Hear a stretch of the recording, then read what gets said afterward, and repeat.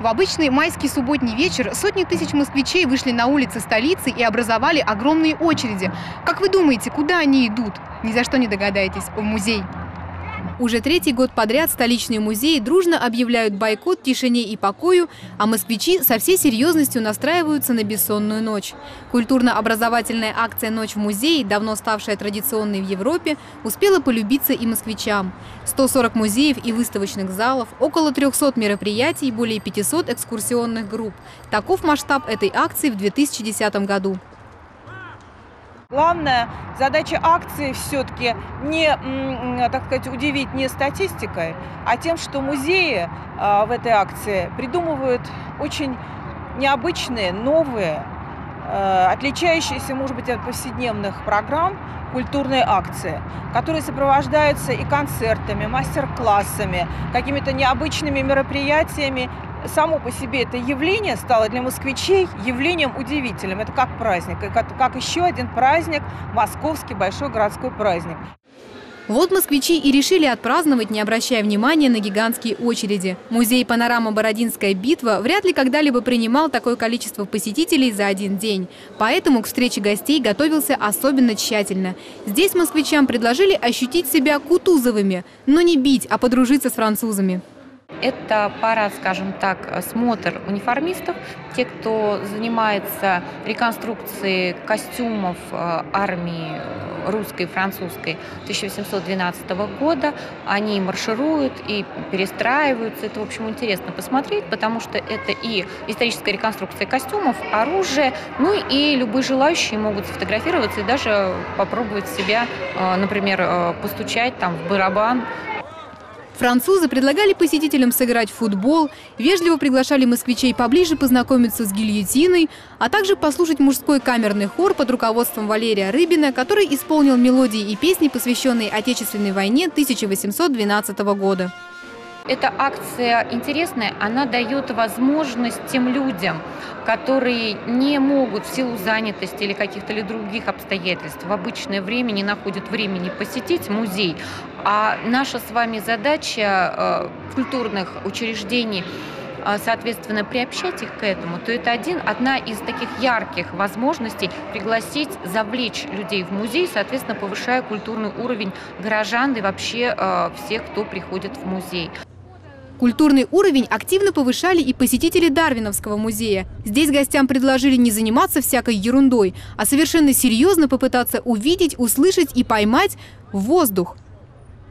Но мы вот с Жанной Рыбак задались таким вопросом. Можно ли сделать произведение современного искусства из воздуха? И задали этот вопрос нескольким э, современным художникам. По-моему, они блестяще справились. Мы взяли крышу Дарвиновского музея, открытую всем ветрам, и предложили художникам поймать воздух. Сейчас перед нами представлено огромное количество воздуха зримого, который вы можете потрогать, пощупать, понюхать. И это в течение вот этой выставки. Это объект Петра Григорьева. Он называется э, написание очень важно. Воз духа, кос, куб духа. То есть человек попытался поймать дух. И вот человек, который заходит внутрь этой, этой инсталляции, я так понимаю, понимаю, что он должен проникнуться духом. То есть мы все пытаемся, все художники пытаемся поймать дух воздух. Мы его все пытаемся заключить некую какую-то форму и поделиться. Каждый из художников пытался поймать здесь воздух всеми возможными способами. Мы шли мимо и думали, ведутся ремонтные работы. Оказалось, произведение искусства. Все представленные на крыше проекты задумывались художниками как интерактивные, поэтому извечный музейный призыв «руками не трогать» в ту ночь был не актуален. Гости, перемещаясь по крыше, с удовольствием трогали объекты и старались в момент созерцания прекрасного не запнуться о какое-либо произведение искусства это Владимир Трямкин постарался увидеть молекулу воздуха, которую, в общем-то, невозможно увидеть с невооруженным глазом. А для того, чтобы она стала зримая и такая достаточно тяжеловесная, он ее увеличил миллионы раз. И сделал ее такой огромную, что мимо пройти невозможно. Я думаю, что поднять такую молекулу очень трудно. Алексей Дьяков, я так подозреваю, все-таки хотел показать некую такую любовь. Это э, необходимость в воздухе. То есть воздух нам необходим, как мы без него жить не можем. А когда два человека делятся друг с другом воздухом, они создают как раз вот эту связь между собой, когда друг без друга невозможно существовать. Но здесь вот два человека заключенные, во-первых, в аквариум, то есть вокруг них замкнутое пространство, замкнутое пространство их отношений. И та связь, которая она здесь условно показана с помощью противогаза, она неразрывна. Стоит перерубить этот шланг, и оба человека погибнут. На десерт гостям выставки подали перформанс под названием «Птицелов».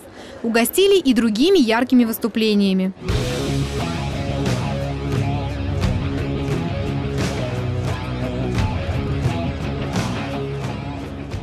Деле это очень хорошая акция, потому что здесь э, есть возможность показать себя автором уже кто с именем, показать свои какие-то вещи. И плюс тем, кто только начинает первые шаги в дизайне, в искусстве и во всем этом деле. И то, что все вместе работают, это очень здорово, это очень сплачивает и художников, и зрителей, которые сюда приходят. Я узнала об этой об этой акции вообще из интернета. И меня очень заинтересовала сама идея и вообще зачем люди это делают. На самом деле, мне кажется, это очень хорошая идея. Люди должны приобщаться к искусству. Достаточно это, ну, как интересно, поскольку студенты выражают свои эмоции, свои мысли.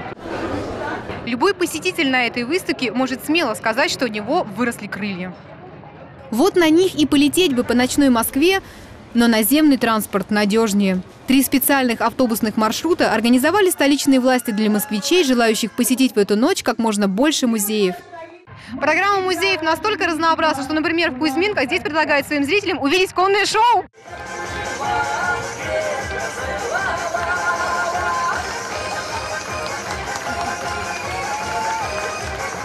всевозможные творческие коллективы, да, то есть это несколько площадок, вот, это конное представление, это песни, это танцы, это э, стихи военных лет вот, в исполнении э, актеров.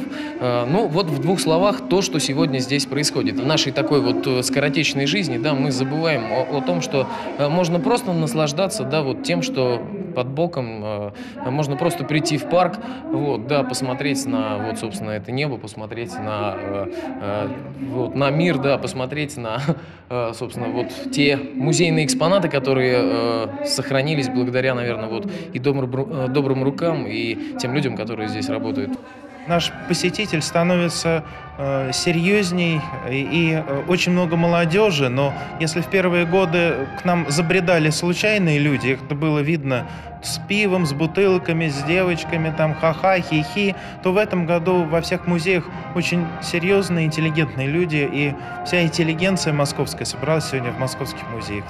105 тысяч москвичей гуляли по парку Государственного музея-заповедника Царицына. Знаменитые поющие фонтаны для всех гостей музея стали ярким финалом этой волшебной ночи.